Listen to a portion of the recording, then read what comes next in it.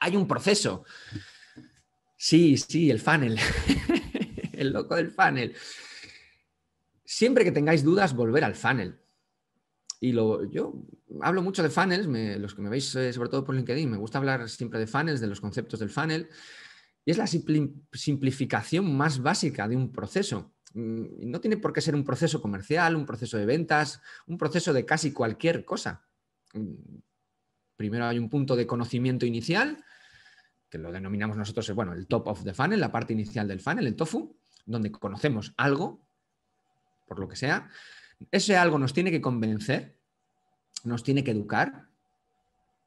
Tenemos que convertir a esa gente que no nos conoce, ¿y este quién es? ¿Y este qué hace? ¿Y tú qué haces? ¿Y tu empresa qué hace? Tenemos que educarla durante un espacio de tiempo, puede ser más largo, más corto, dependiendo también a quién te dirijas.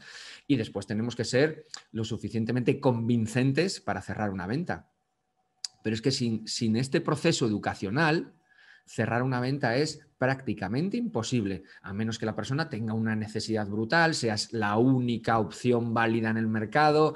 Bueno, es muy difícil vender algo de manera, de manera directa sin haber pasado por este periodo, que puede ser corto, no tiene por qué ser largo.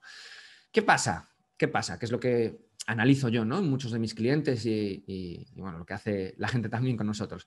Salta de este paso a este. Os olvidáis de este. Y esto es lo más importante. Lo que hacéis en el medio con vuestra audiencia. La comunidad que creéis. La imagen que dais. Vuestro posicionamiento. ¿Quién queréis ser? ¿Qué imagen queréis dar con respecto a vuestra competencia? ¿Qué hace el mercado? ¿Qué quiere el mercado?